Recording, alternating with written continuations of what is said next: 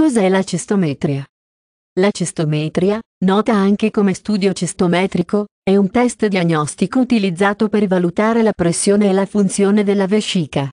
Utilizzato come strumento investigativo, la cistometria viene somministrata per diagnosticare una varietà di condizioni tra cui i calcoli alla vescica, le anomalie della prostata e le lesioni del midollo spinale.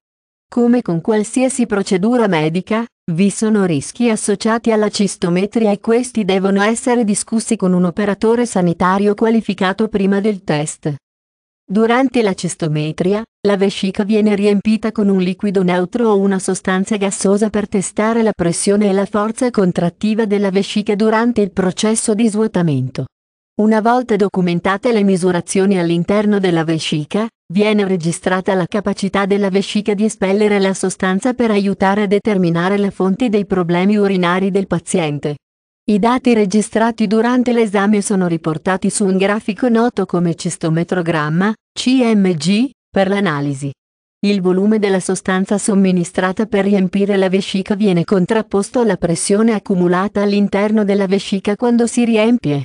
Ulteriori dati registrati durante il processo di minzione comprendono la durata dello svuotamento, la quantità di urina e qualsiasi ritardo o sforzo che possa essersi verificato.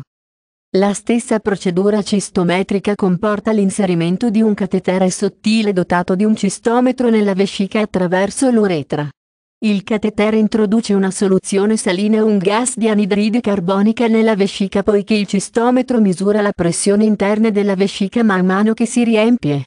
Il tempo di consapevolezza iniziale del paziente della vescica piena è documentato con quanto tempo ci vuole per lui o lei a sperimentare la voglia di urinare. Il paziente può sentire un po' di disagio con l'introduzione del catetere e una forte spinta a urinare mentre la vescica si riempie. La cistoscopia è una procedura correlata utilizzata per diagnosticare condizioni quali calcoli alla vescica, vescica irritabile e anomalie della prostata.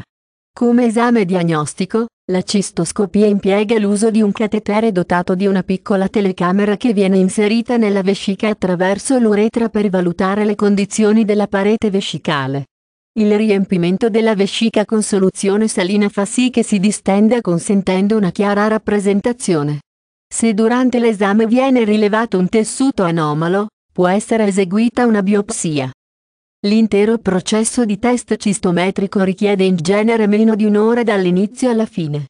Sebbene le complicanze associate alla cistometria siano rare, le persone che si sottopongono a questa procedura possono sviluppare un'infezione del tratto urinario.